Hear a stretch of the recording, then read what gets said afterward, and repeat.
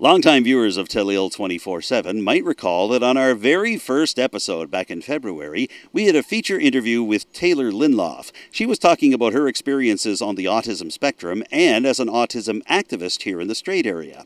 Well, that turned out to be one of our most popular segments on the entire run of the show, so I thought it might be a good idea to bring Taylor back for this week's show.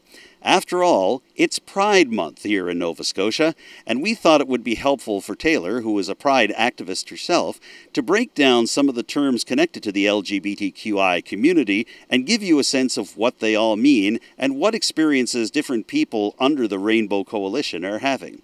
So here's Taylor now with a little look at the alphabet of LGBTQI. Hey everyone, my name is Taylor Linloff, and welcome to the ABCs of P R I D E, Pride. Let's start at the beginning, of course, with L G B T Q I. The first letter, L, stands for lesbian, which is a woman who is attracted exclusively to other women. G stands for gay. Gay means a man who is exclusively attracted to other men. But wait, it also means an umbrella term for the LGBTQ community, which is why you often hear the term gay rights or gay pride.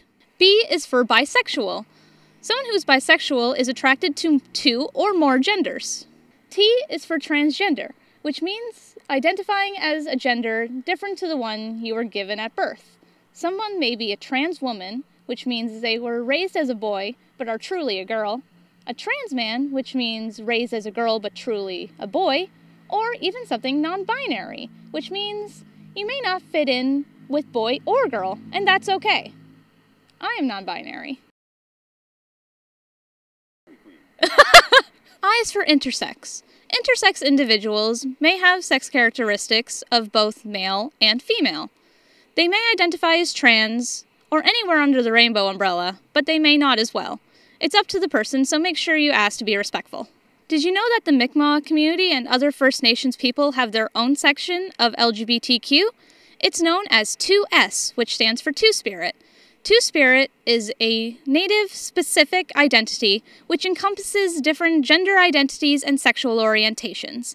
It is a closed tradition, which means that if you are like me and white, please do not use the term for yourself. C is for cisgender.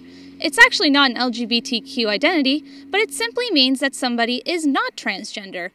There's a reason for the word, and it's because we want to normalize the fact that trans people are normal. So we want to find another way to say someone's not trans without saying a normal person.